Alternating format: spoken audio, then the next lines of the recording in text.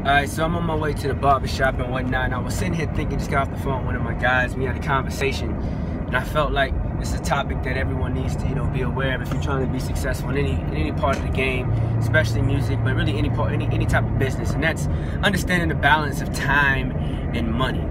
All right, now there's only there's, there's really only two things that's gonna drive you to where you want to be outside of, of course, your hard work, your team, your dedication, all those other factors. But from a business standpoint, a strictly business standpoint, after you've done the personal work that you have to do to become successful in your craft and in your art and or making your product a service, you got to understand that it's, it's going to come down to time or money right? That time is going to be spent, you know, most likely with your relationships, right? Let's say you want a DJ to play your record. There's only two ways that record's getting played you know, if it's unknown and it's not already the hottest thing in the streets, right? There's only two ways it's getting played.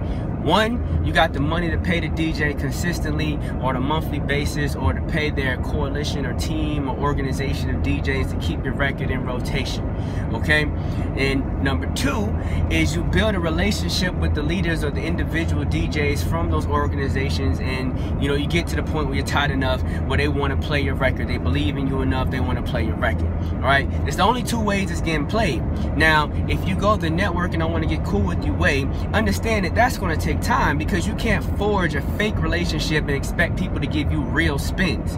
Understand what I'm saying? If you really want to create something organic, you're going to spend time really getting to know that individual. You guys have to honestly bond with one another, you know, to the point where they really want to rock with you on that level and provide what they normally charge for for free.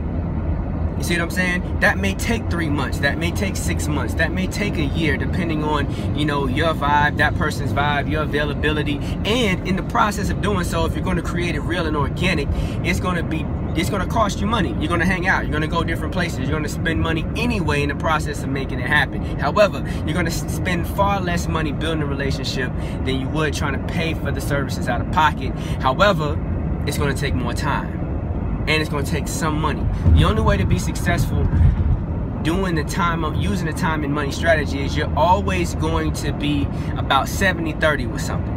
You're either going to spend 70% of your time in order to spend 30% of the money and you know 30% the, the, the, percentage may be off you may you know they may give you a 50% discount or whatever but you know to, to save money right you're going to give up 70 leaning toward the 70% section right or you're going to be spending 70% of the money because you have to still build that relationship with the individual for them to take you serious, for them to want to, you know, be passionate about playing your music. You can't just give somebody a check and expect them to do something. That's in that's in any field. You give people the money, but it doesn't mean that they're going to be skilled at what they do. They're going to be passionate about what they what they do, or they're going to take your money and perform to the best of their ability. The only way you get the best out of people, even when you cut them a check, is you have to have some type of, of oversight. Someone's building a relationship with that individual, and coaching that individual, and helping that individual to help execute what you're paying them to do right?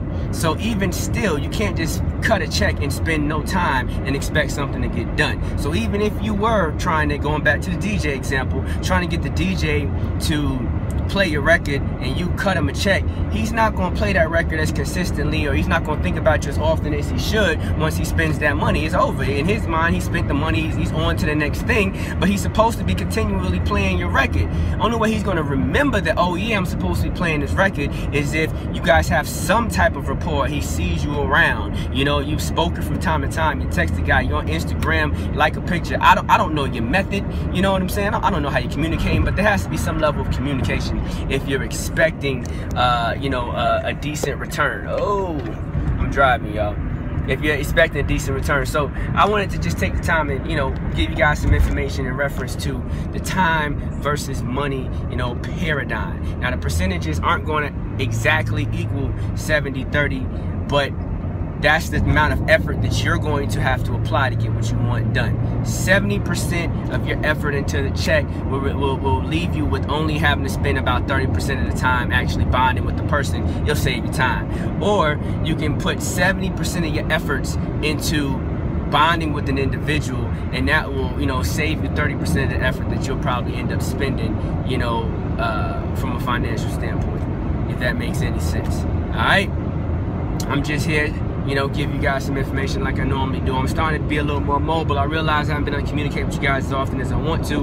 because honestly, I'm busy. I'm doing shit. So it's hard to sit down in front of the camera and just talk all the time, but I really want to make this thing, you know, pop off uh, with Phase 6 and provide you guys with, with information consistently and things that you guys can use to help yourselves in your career. So you may see more videos on the go like this.